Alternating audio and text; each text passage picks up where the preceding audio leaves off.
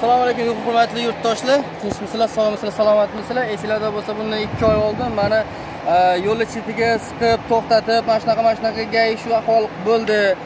E, mashinada kasal odam bo'lishiga qaramasdan olib borib jarimaga tiqdi. Majburiyat yuzasidan ketayotgandim. Farzandim xotinim bor edi dedim. Mana ilova qilganman o'sha narsadan. O'zbekiston respublikasi sog'liqni saqlash vazirligi xorazm viloyati sog'liqni saqlash boshqarmasi pitnak shahar tibbiyot birlashmasi shto bo'limidan kasallik tarixidan ko'chirma nomer o'n olti sakson sakkiz bir yuz yigirma bir degan narsani mana ko'chirtirib olib kelganman. O'sha vaqtda ham gayiga aytganman hozir taqdim qil degan. Mana ahvol kasallik ko'rib turibsan man sen ketyapmiz deyishimga qaramasdan mashinani olib borib shtrafstanga yetibgan mayli bunisi ham o'tdi ketdi. Lekin mana shu joyda mana shu mana shu joyda aytmoqchiman bugun sud bo'lishi kerak edi. Mana hozir chaqirdilar lekin bizga hech qanaqa sudga chaqiruv bo'lgani yo'q. Rasmiy qog'ozda hech kim yozmadi. Mana bunaqa pechat bosilmagan shtamp yo'q qo'l qo'yilmagan kim nomidan kim qiladi qachon qayerda qiladi hech narsa yozilmagan. Telefon qilib просто uchastkovoy manga mana shunaqa sud bo'ladi kelasan tamom. Shumi bizada qonunchilik hozir? Qonun ustuvor davlatimiz shunaqami bizani? A bo'pti. Uni ham mayli deylik. Bu yerda hozir gayni nimanga aytayotgan gapi man sizni tayoq ko'tarib to'xtatdim deydi. Tayoq ko'tarib to'xtatganmish. Man u bu gapni ikki oydan beri aytib kelyapman mani chetga siqib bezumir mashinada to'xtatdi. Mana shunaqa ahvol bo'ldi tushunmadi vaziyatni.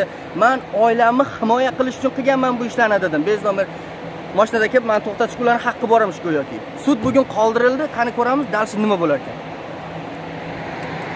Ichkarida nimalarnidir anavi qilishdi gaplashishdi nimadir bo'ldi kimnidir kim ichkariga chaqirib ketdi biza kutdik to'xtadik chiqdilarda. Telefon besh to'rt besh marta telefon bo'ldi. Qachon kelasan qachon kelasan? Keldim kelgandan keyin qo'limizda shuncha dokument bor boshqa narsamiz bor tayyorgarligimiz yaxshi. Balki shuni ko'rishgandir. Hozir срочно ish chiqib qolibdi keyin kelarsizlar o'zlari xabar avvalgisini namaking avvalgisini ham avvalgi. Kelganimiz avvalgi avval ikki marta kelib ketganmiz. Biz u mashina bo'yicha mashina sudi bo'yicha. Bu mashina sudi ham emas hali. O'sha gai bilan bo'lgan mojaro to'qqiz yuz yetmish beshinchi sonli qarorga zid bu narsa. Man syomka qilishga tarqatishga to'laqonli haqqim bor rossiyaning sankt peterburg shahridan o'zbekistonning barcha viloyatlariga yuk tashish ya'ni kargo xizmatini taklif etamiz. Barcha avtomobillar o'zbek nomerlarida. Yuk narxi 200-250 rubldan 300 rublgacha. Xizmatlar sifatli va tez amalga oshiriladi. Ekranda ko'rinib turgan nomerlarga aloqaga chiqib bemalol yukingizni ishonchli o'zbekistonga jo'natsangiz bo'ladi. Hujjatda yana bitta narsani aytib o'tmoqchiman qonun talablarini vijdonan bajarmaydigan mana shunaqa ichki ishlar xodimlari gaylar boshqalar hammasi hammasi bir nanovga kiradi. Ichki ishlar vazirligi xodimlari ichki ishlar xodimlari kiradi. Gai bo'lsin uchastkovoy bo'lsin.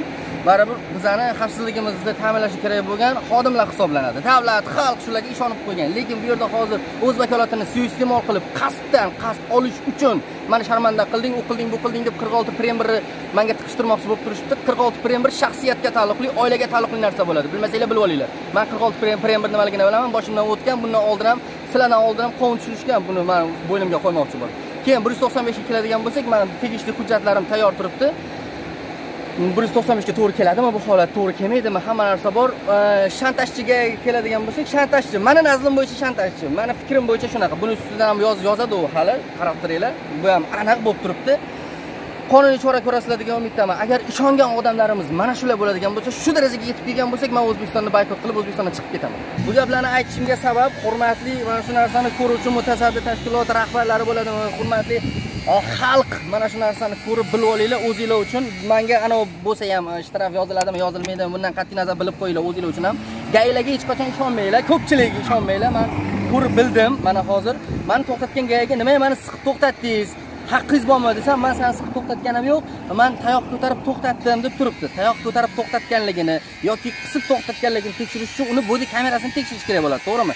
Bodi kamerasi texnik nosozlik tufayli o'sha kuni ishlamay qolibdi bunga nima deysizlar xizmat tekshiruvi natijasida e, xizmat tekshiruv vaqtida mana shu narsa mm, anavi bo'libdi aniqlanibdi. Ho'p bo'libdi u narsasi ham ishlamay qolibdi lekin qo'lda shaxsiy telefonda olayotgan syomkasi bor edi. O'sha narsaga man hayronman. Nimaga bodi kamerasi ishlab turgan bo'lsa o'sha aqlli aqli toshib ketib qulog'idan oqib yotgan burnidan oqib yotgan gay nimaga shaxsiy telefonda olgan bodi kamerasi ishlab turgan bo'lsa.